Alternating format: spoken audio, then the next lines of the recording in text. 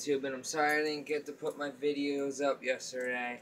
I was spending time with family and just having some time with myself, you know. So, this video is to help men feel more comfortable if they decide to ever get snip snip. So, because I'm thinking on and planning on possibly again snip snip, but only if what I have an idea for happens. So, I say they need to find a way that they can knock us guys out so don't we don't have to fidget freak out while they're going down there and fixing us. You know, I don't need that shit to be through my head as I'm wide awake. Knowing that they won't give me anything but probably a painkiller. I don't want no fucking painkiller. I want something that will knock me the fuck out. Make it that I won't even know what's going on because I'll be dreaming of fucking tacos raining from the sky or something. You know?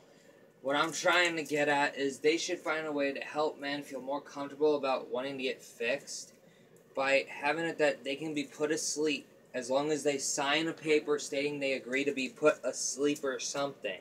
Because honestly, what guy wants to be awake through all that shit? That is some scary shit. And it does hurt.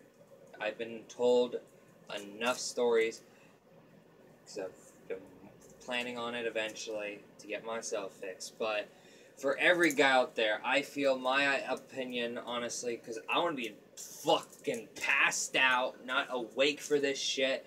And I think they should do that for every guy if they ask it.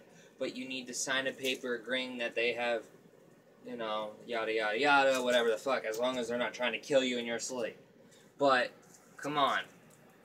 I don't know if anyone else agrees with me, but if you're a dude and you want to get snip snip, fixed up, not have kids anymore, wouldn't you want to be at least knocked out so you don't know what's going on?